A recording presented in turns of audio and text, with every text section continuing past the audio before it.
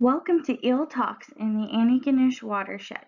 Today's presentation is all about American eel, Kataq and Mi'kmaq, and the Antigonish watershed, and the work that is being done to ensure that eel are present in the watershed, that eel passage is not blocked throughout the watershed, and habitat restoration work to benefit eel. I want to begin today with acknowledging that we are in Mi'kma'ki, the ancestral and unceded and current territory of the Mi'kmaq people. Kataq are an important aquatic species to the Mi'kmaq people and their way of life. They have a deep relationship with harvesting eels for thousands of years. Eels are an important source of food as they are rich in nutrition and provide medicinal properties as well. Eel skins have been used as braces and bandages. Juniper balsam and eel skin were used to make a poultice for sprains as well. All parts of an eel are used when harvested. Eels have many spiritual qualities as it is frequently found in legends and regularly used as ceremonial offering. The Antigonish watershed is rich in harbors, ravine, and estuarine habitats that support the American eel life cycle. The Mi'kmaq have a long history and connection with har harvesting American eel and other fish, Protecting this habitat is extremely important to the Mi'kmaq Nation to ensure that eel continues to prosper and to provide the Mi'kmaq with food and medicinal healings for future generations. Today, we are hoping the information and conversations will help guide the work we are doing for eels. Welcome to our workshop and information session. Today on Eel Talks, we have three different groups presenting on their work with American eel and the Antigonish watershed. My name is Victoria Maxwell. I'm a field technician with the Nature Legacy Project. I work in the Department of Aquatic Resources and Fisheries Management, DARFA, which is a program administered by the Confederacy of Mainland Mi'kmaq, or CMM. CMM is a tribal council that provides services to all eight Mi'kmaq communities within the mainland of Nova Scotia. We also have the Nova Scotia Salmon Association presenting. They're a leader and vo leading volunteer organization promoting the wise management and conservation of our wild Atlantic stocks and trout stocks. And finally, we have AECOM presenting as well. And AECOM is an international infrastructure consulting firm delivering professional services throughout the project's lifecycle, from planning, design, and engineering to programming and construction management. We thank them for being here today and sharing their knowledge with us. To start the presentation, we're going to start with myself, Victoria Maxwell from the Confederacy of Mainland Mi'kmaq. The Species at Risk Watershed Assessment and Management of Culturally Significant Fish species through a two-eyed seeing approach within Mi'kma'ki mainland Nova Scotia is a project here at MCG that was funded by the Canada Nature Fund for Aquatic Species at Risk, or as we like to call it, Nature Legacy Fund to keep it short. This is a multi-year and multi-watershed project which started in 2019 and will run into 2023 and we'll be covering the St. Croix watershed, the Stewiacke watershed, and the southern Gulf of St. Lawrence watershed. The Antigonish watershed is part of the southern Gulf of St. Lawrence watershed portion of the project. The goal of the southern Gulf of St. Lawrence project is to identify the key habitat areas and limiting factors for brook floater, Atlantic salmon, and American eel. The Antigonish watershed portion is focused on American eel Mi'kmaq ecological knowledge (MEK), relative abundance estimates, and aquatic connectivity concerns in the south and west rivers of the Antigonish watershed. American eel surveys were conducted in the south and west river this past fall by the method of eel pots and minnow traps that were zip tied together and baited with pork. The pots were set for one-hour soaks and overnight soaks in the two rivers. Water quality data was taken at, at sites using a YSI. In the West River, three sites were surveyed, but none of the sites were potential barriers to eel passage. A dam has been identified in the West River and will be, be further reviewed. The eel pots were set for one hour, but no eels were present in the pots. Many other species were caught, including, including yellow perch, creek chub, white sucker, fall fish, red belly dace, and three-spined stickleback. In the South River, three potential barriers to eel passage were identified: the Loch Katrine Dam, the Fraser's Mills Hatchery Dam, and Pinevale Dam. In total, there was eight sites surveyed for American eel, with three of the sites were, were one-hour soaks and five of the sites were overnight soaks. In total, we didn't catch any American eel, but we again caught many other species. And in this slide, we can see a white sucker here, and then a fall fish, which was very interesting to see. It was very shiny and bright. Fieldwork in the Antigonish watershed will continue this field season with continuing on identifying berries for eel passage in the South and West River. We're going to survey at least five sites to determine relative abundance, density, and species composition for American eel. And we're also going to collect basic water chemistry data at multiple sites. Some of the final work on our project will include a pit tagging system for American eel, and we're going to be modifying barriers to promote American eel passage. We would love to hear from you to help shape our Antigonish watershed project. We are seeking knowledge holder for Mi'kmaq knowledge interviews. You can contact myself or Alana Silivoy to participate. We're seeking information on areas of concern in the South and West River. So do you know where an area is being polluted? Do you know where an area has been degraded or an area that potentially has a barrier to eel passage? We are also seeking information on known eel habitats so that we can further protect those and kind of see where our American eel are in the water in the watershed. Would you like to help out in our field season this spring and summer? Please feel free to reach out to myself or Alana to get involved. Thank you. We will now hear from the Nova Scotia Salmon Association. So good afternoon, everybody. My name is Nicholas McGinnis. I'm a habitat restoration specialist with the Nova Scotia Salmon Association, and we're here today to discuss the Gulf Region Priority Rivers Project, which is a collaborative stewardship project between a number of stakeholder groups as well as rights holders groups and it's an exciting project and we're just going to present a quick overview of what we've been up to with this project. So our Gulf Region Priority Rivers project focuses on fish habitat within four watersheds in the Gulf region of Nova Scotia.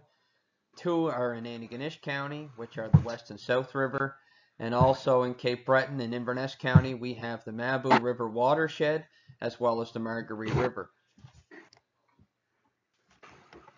So this project has a lot of collaborating partners, and I've listed some of our core partners here on this slide.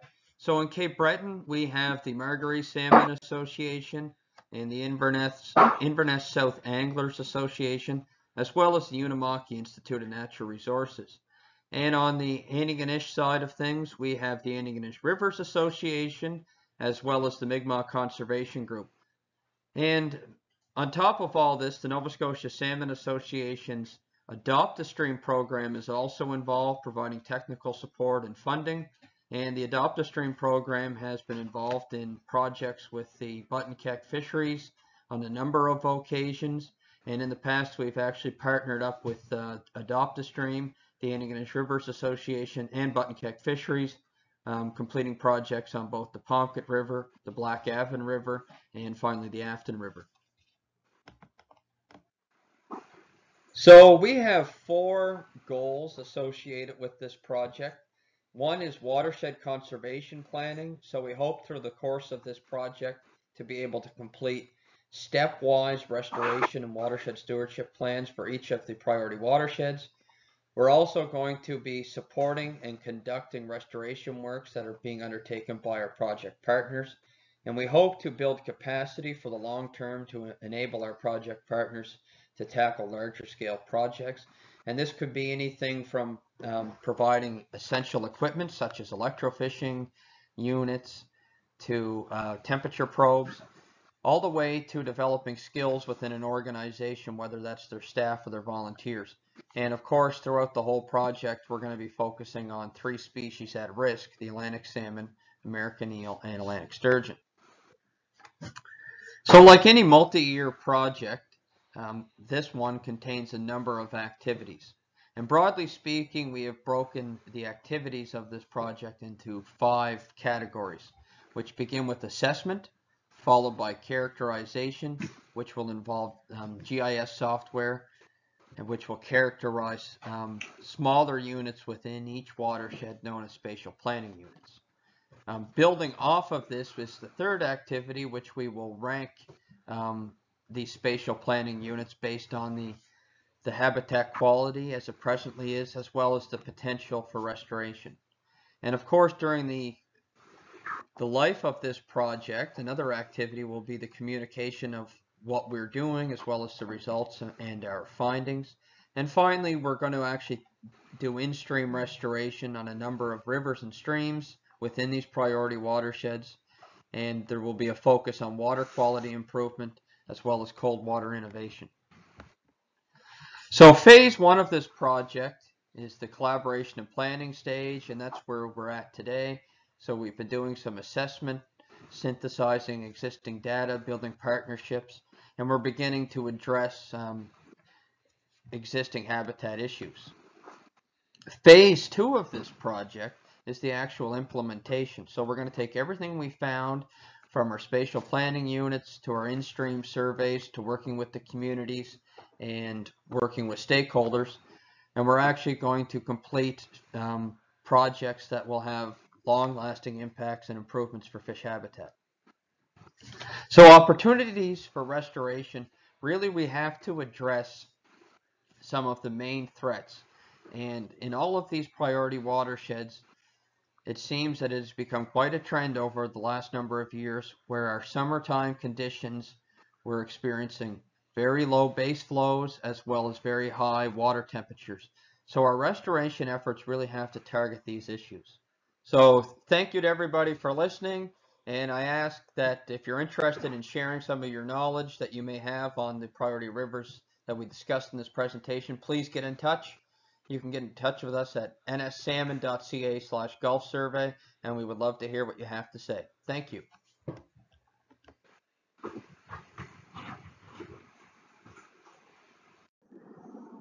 Our final presentation in Eel Talks is AECOM. Please enjoy their presentation. There's a slight pause in the video, but it'll be on very shortly.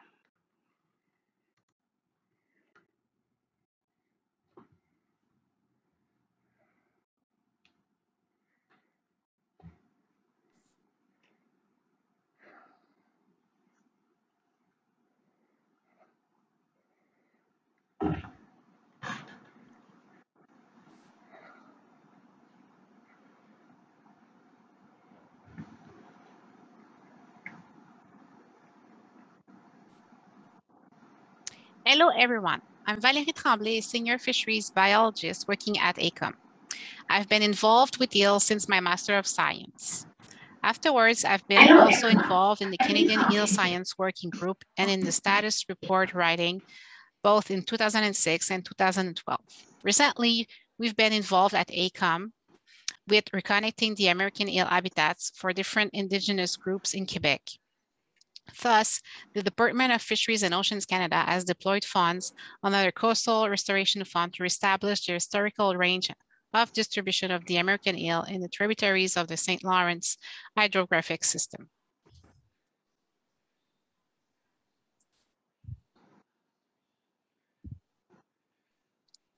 As you are deeply aware, the American eel is a long-lived species demonstrating a significant cultural and ecological value. The species has many usage in the indigenous community, not only fished for flesh, but have also been used for its medical, medicinal benefits using oil and skins, and skins, for example. Traditional fishing techniques have also been deployed for this unique species, such as spearfishing.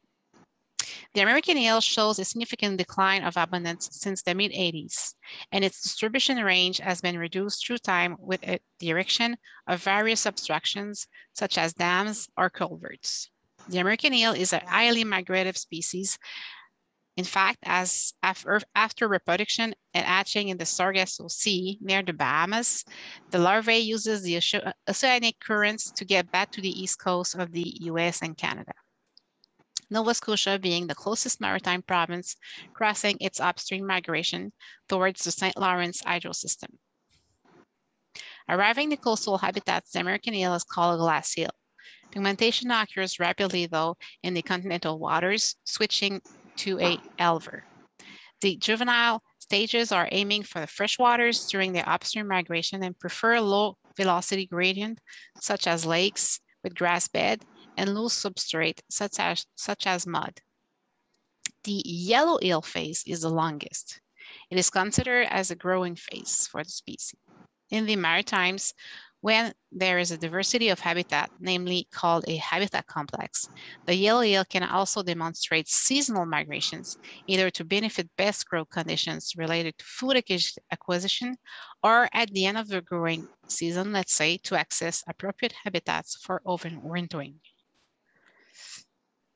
Giving all the previous demonstration of the necessary migrations undertaken by eels throughout its life cycle, and specifically for the juvenile stages, aiming the growing conditions of lacustrine habitats, providing safe passage in a watershed level is very important. When studying eels, the notion of obstacle clearance capacity is specific to the species, and therefore cannot be compared to salmonids.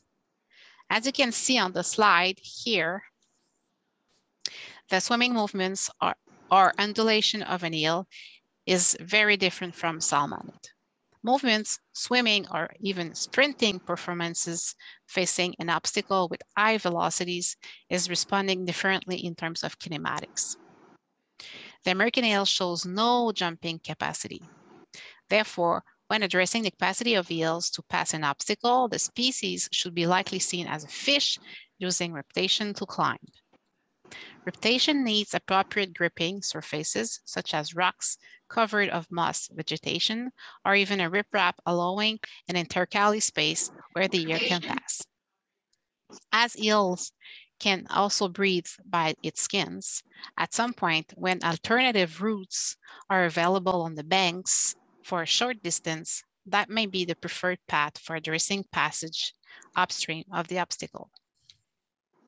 The Antigonish watershed here is known to be within the American eel current and historical distribution range. The Micmac Conservation Group has therefore requested our knowledge at AECOM and expertise uh, with uh, different groups, such as the um, the groups uh, of uh, Micmac and Maliseets from Gaspésie area to address the first steps of habitat restoration through providing safe passage to the American eel a different obstacle. The Micmac Conservation Group is now establishing sites where the eel presence was historically reported and abundance or presence greatly depleted nowadays, with the construction of obstacles such as dam or culverts. The presence of beaver can even prevent eels from reaching preferred habitat upstreams. As a first step, habitat restoration should always be addressed from the downstream reaches as migration of juvenile occurs from the sea to the continental watersheds. Each and every drop at a culvert entrance should be also considered problematic to eel migration as they are impeding passage to eels. Effective restoration efforts need conceptualize the American eel behavior at obstacle and a great knowledge of the species capacity and attractive elements. Also, as explained earlier, eels needs an appropriate substrate to undertake migration through reptation movement. Here you can see some example of eel ladder substrate. Here, some different models. Um, where the animal perform reptation in the spaces of the plots using the margin of the plots to grip on although the Micmac Conservation Group project has yet to determine which sites will be remediated, three cases will now be addressed in terms of obstacle erected in the Antigonish watershed, namely the Fraser Mill Hatchery Dams, the Loch Katrine, and the Pineville Dam. These, these dams are all located in the South River. Similar restored habitat uh, from previous studies on, on, on AECOM sand in 2011, uh, sorry, 2019 and 2020 for other First Nations group in Quebec will be presented, presented as a similar restored habitat for each case. Loch Catherine here. Loch Catherine is a gravity concrete dam. This dam is composed of three Pertee overflow. A fish ladder is present at the dam. You can see it here. Um, and you can see also from the pictures uh, that the fish ladder system is not in operation at the water level since it's too low. And as the middle part, the middle part is, is completely open. In normal conditions of operation, the middle part is, uh, is closed and the water level upstream is higher, consequently providing enough water for appropriate fish ladder operations. The entrance of the fish ladder is submerged for fish, namely the salmons here and is built to expose high velocities, not suitable though for the eel migration. So to provide passage appropriate for the American eel, we have here a similar restored habitat in Saint-Jacques, Quebec, done for the Hurons. Um, so this is a suggestion, the construction of a standard eel ladder under an aerial structure attached to the retaining wall of the dam. The eel ladder can be installed permanently the design of this eel device requires consideration of an ideal position at the entrance of the pass so that the ladder is attractive to the eel. Besides the entrance, the component of the eel design are defined as follow. An infrastructure composed of aluminum, including the, the migration substrate for the crawling of the eel. So we can see it here and over there and here in sections um, including a slope suitable for its ascent.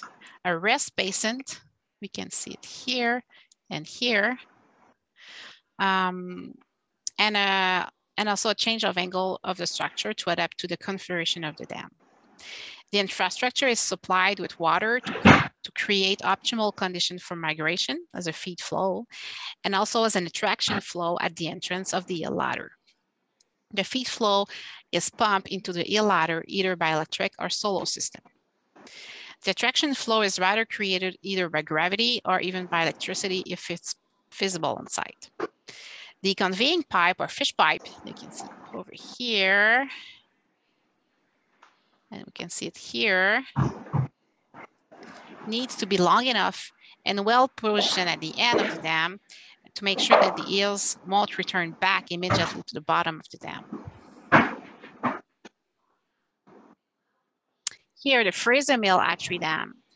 The Fraser Mill Hatchery Dam is a gravity concrete dam. This dam is composed of a conventional spillway with a fixed crest. This dam has a fish ladder system. You can see typically for salmon is again in terms of design and configuration. Based on the picture, the entrance of the fish ladder is not operational and there is no flow on the crest of the spillway. We see that the intake on the right shore, we see here the intake on the right shore upstream of the dam. So it's the picture on the left. As a similar restored habitat, if we can guarantee a flow on the crest of the spillway over here, we could put a system as in the photo on left, but the water flow condition are stays dependent on on-site conditions. To bypass any overflow problem on the crest of the spillway and the salmon and fish pass, an independent aerial structure could also be uh, erected at the hydraulic level. Uh, as you can see, it's proposed here, pictures on the right over here. The Pineville Dam, some pictures here. Um, so the Pineville Dam exist, com is composed of a culvert with inappropriate flow conditions, either by showing high velocity or showing a drop, preventing natural access by eels, right? So upstream of the, the Pineville Dam is composed of a standard fishway of successive basins and gates. A similar restored habitat for Pineville, it can be considered to install a completely standalone device without using the culvert or the fish pass and it's being done for most likely parallel to the ex existing infrastructure. The entrance must be positioned in an attractive place for the eel. The structure will have a flow feeding adjust to the level of the lake.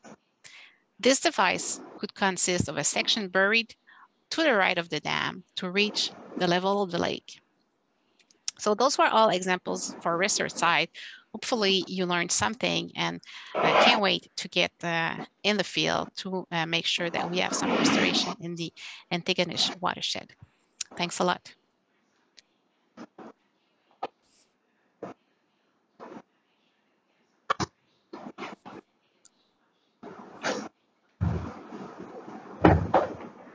Thank you for watching Eel Talks in the Antigonish Watershed. If you have any questions or comments, please feel free to reach out to any of our presenters.